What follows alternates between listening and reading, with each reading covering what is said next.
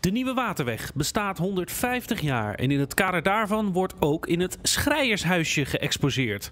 Want er zijn over de Nieuwe Waterweg veel geschiedenisverhalen te vertellen. En toen kwam ik er eigenlijk achter dat wat we weten over de Nieuwe Waterweg en de verhalen daarover en de geschiedenis, dat daarin eigenlijk verhalen van vrouwen ontbreken. Dus ik dacht, nou, dat lijkt me echt een heel mooi uitgangspunt om dan in Schiedam te kijken of we die verhalen kunnen gaan verzamelen. Het nogal troosteloze kale huisje wordt voorzien van kleurrijke verhalen uit het verleden.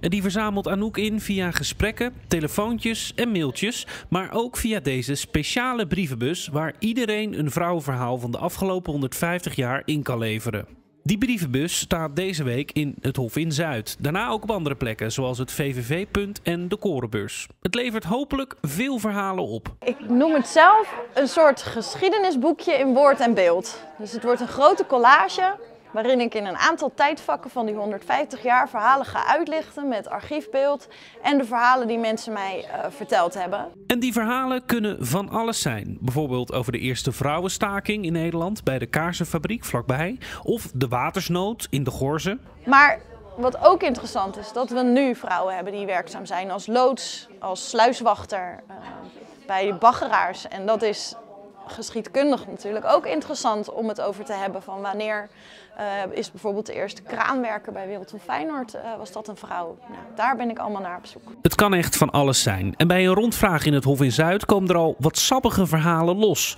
Bijvoorbeeld over het schrijershuisje zelf. Ik heb daar heerlijk zitten scharrelen met mijn vrije toen. Wat mijn man is geworden. Het was een lekker scharrelhoekje.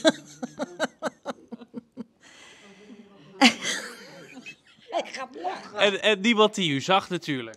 Nee, tuurlijk niet. Dat kon niet. We zaten diep op het bankje in het hoekje gekropen. dus ja, dat was uh, eigenlijk zo. En gewoon, uh, ja, ik durf mij niet vragen, maar gewoon volle bak dan, zeg maar. Uh, hè? Nee. gewoon alles? nee, nee, nee. Of uh, kleine kusjes? Ja, de kleine kusjes. Nee, dat niet, maar gewoon. en toen wou ik het ook een keer uitmaken met mijn man. Oh. Ik zeg, het is afgelopen, we gaan, doen het maar, uh, gaan van elkaar af. En toen is hij op het randje gestaan. Toen zei hij, als u dat doet, spring ik in het water. En toen zei ik natuurlijk, nee schat, ik doe het niet.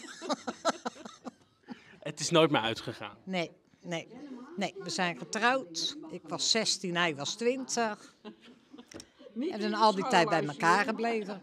Dus. Het is allemaal daar begonnen? Daar is het begonnen, ja. Ja denk over een week of drie hoop ik wel de eerste verhalen op de muur aan te hebben gebracht. En dat gaat zich dan steeds aanvullen totdat het uh, op 11 januari volledig is. En dan is het klaar.